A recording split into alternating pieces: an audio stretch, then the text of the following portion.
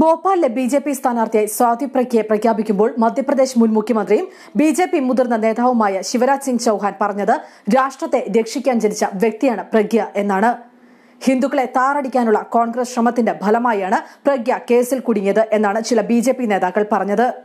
എന്നാൽ കോൺഗ്രസ് സർക്കാർ അല്ല ബി ജെ പി സർക്കാരാണ് സ്വാതി പ്രഖ്യയെ ആദ്യം അറസ്റ്റ് ചെയ്തത് എന്നതാണ് വാസ്തവം.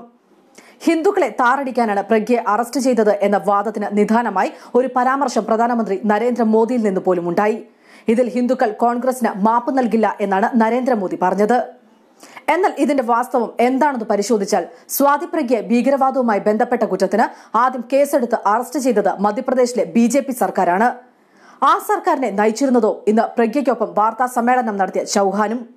മധ്യപ്രദേശിലെ ദേവസ് ജില്ലയിൽ ആർ എസ് എസ് പ്രവർത്തകൻ സുനിൽ ജോഷിയെ കൊലപ്പെടുത്തിയതുമായി ബന്ധപ്പെട്ടാണ് പ്രഗ്യയും എട്ടുപേരെയും ചൌഹാൻ സർക്കാരിന് കീഴിലെ പോലീസ് അറസ്റ്റ് ചെയ്യുന്നത്. രണ്ടായിരത്തി എട്ട് സെപ്റ്റംബർ ഇരുപത്തിമൂന്നിനായിരുന്നു അറസ്റ്റ്. ഈ സ്വാതി പ്രഗ്യയാണ് ഭോപ്പാലിൽ കോൺഗ്രസ് സ്ഥാനാർത്ഥി ദിഗ്വിജയ് സിംഗിനെ ബി ടിക്കറ്റിൽ നേരിടുന്നത്.